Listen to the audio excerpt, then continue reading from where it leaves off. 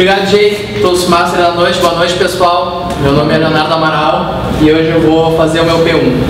Eu vou contar um pouco da minha vida e para isso eu dividi em três histórias. Mas antes eu vou com uma pergunta. Vocês estão dispostos a correr riscos em busca de um objetivo? A minha primeira história é sobre intercâmbio. Alguém aqui, além do Guilherme, já teve a oportunidade de morar fora? Pô, bastante gente.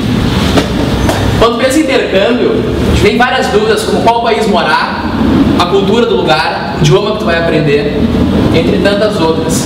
Depois de tirar essas dúvidas, eu decidi, vou para a Austrália. Só que tinha um problema, eu não tinha condições financeiras de pagar um curso de inglês. Me matriculei num curso técnico, que era bem mais barato. Mas para o curso técnico, tu já tem que ter um certo domínio da língua. Mas eu pensei, ah, na minha época do colégio eu estudei, chegando lá eu, eu me viro. Isso é até engraçado aqui no Brasil, quando a gente pergunta para muitas pessoas, fala inglês? A resposta quase sempre é a mesma. Ah, eu falo, entendo, me viro. Era o que eu também pensava. Cheguei em Sydney, primeira viagem internacional, tudo muito lindo, tinha levado já para passar um mês, estava deslumbrado. Primeira semana bacana, segunda semana, chegou na terceira semana eu comecei a me preocupar. Conversando com os brasileiros que moravam comigo, me falaram, pô, tá complicado achar emprego, o pessoal dá prioridade para quem já tem o domínio da língua e tal. E eu, puta, como é que eu vou fazer para pagar minhas contas?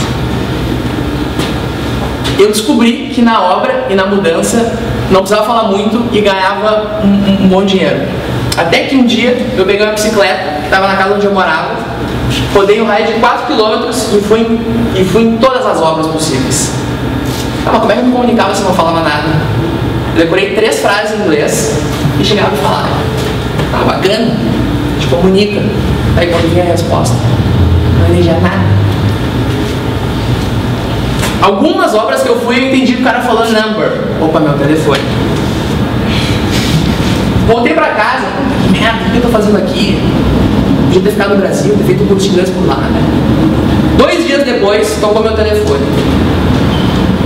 Ah, não entendi nada. Passei o telefone brasileiro que estava comigo falava. Um daqueles caras das, da, das obras que eu fui me ligando para começar no dia seguinte. E foi aí que começou a minha viagem. Depois disso, eu trabalhei na mudança. Esse aqui era o meu uniforme.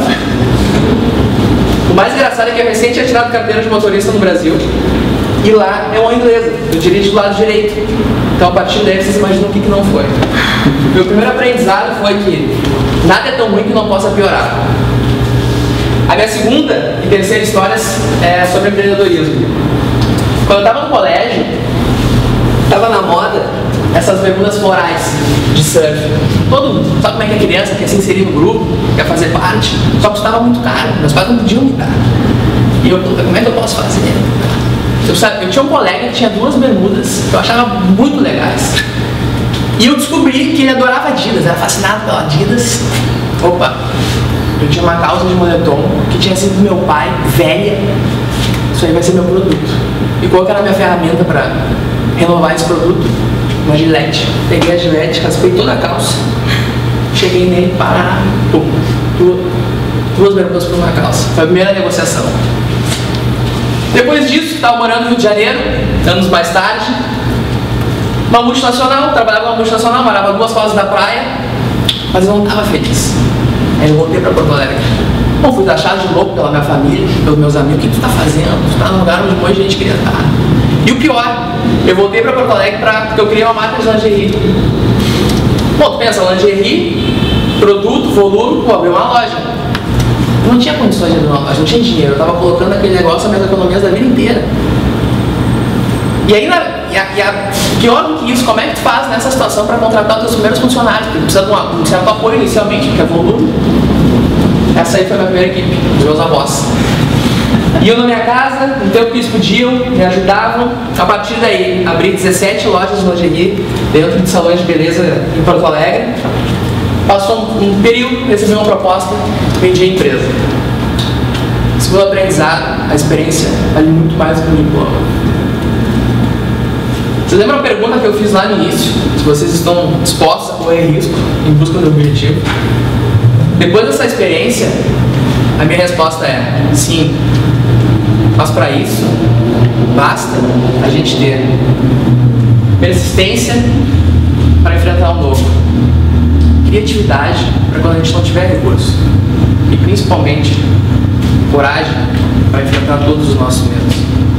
Obrigado.